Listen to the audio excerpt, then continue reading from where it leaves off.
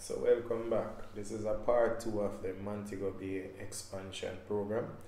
In this particular era where the new roadway is being constructed. So I'm coming from the White House community. So this is a new road being constructed. You you're gonna make a left at this point when the new road is open and this old one which I'm presently driving on is abandoned.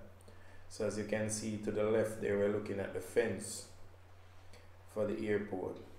So those fence will be removed eventually and then all this road I'm presently driving is gonna be on the airport property itself.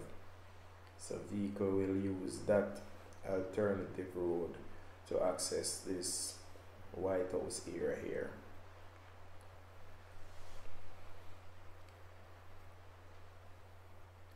So anybody who is familiar with area, with this particular era will remember this point where this is the road that was there all along. So the property that we just passed was constructed all the way to this point. So this was a woodwork shop, a workshop in this area here, which has been dismantled to make uh, room for the airport expansion. Alright, so where we are looking at now, this area here now is the boat yard. This is where the road that's being constructed is going to rejoin the old road. So this is the boatyard building which is now abandoned and somewhat demolished. A couple months ago this was prime era for boat and motor vehicle repairs. So this era would have been filled with lots of boats and men working on them. Trucks, vans, cars, that kind of stuff. So this area has been abandoned to make way for the airport expansion program. So as you can see, this is where the road is. You can this is the road you're looking at. This is where they have reached with the project at this point.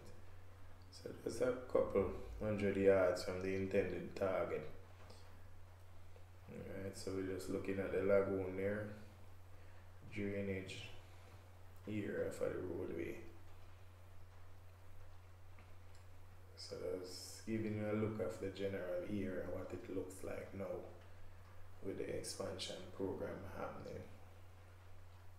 So as you can see, we still have a boat over here. I guess out of the way of everything.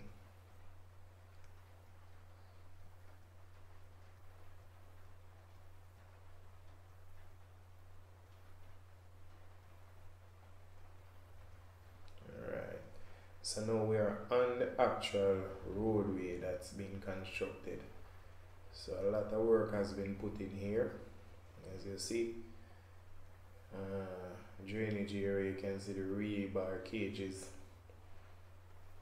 to go into the drainage areas. And you can see how much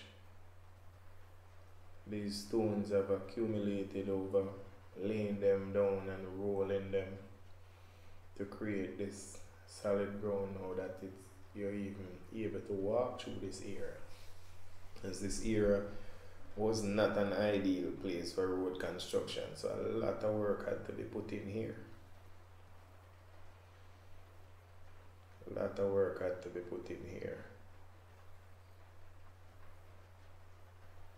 So another steel cage in here.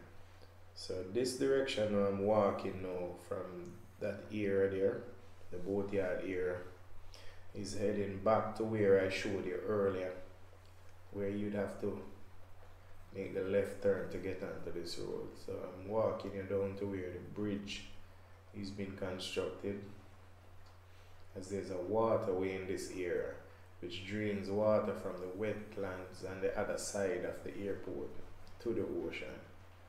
So a bridge has to be constructed. So as you can see the bridge under construction right there.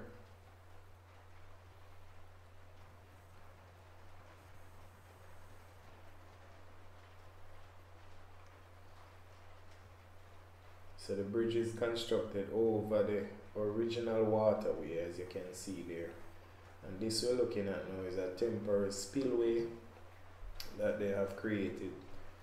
So they have put a dam in place, a temporary dam in place, so they can work on the bridge there. And then they created this spillway so the water can continue to flow while they do the works on the bridge. So there it is.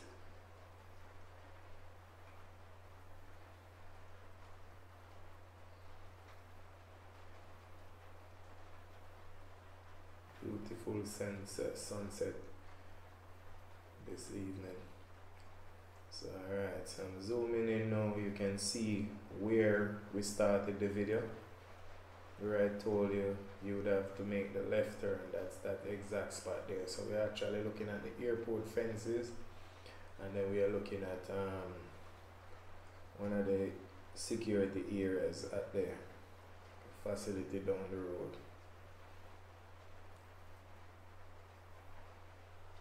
Right.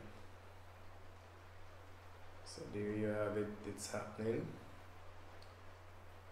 Work is progressing. So just giving you a follow up on the first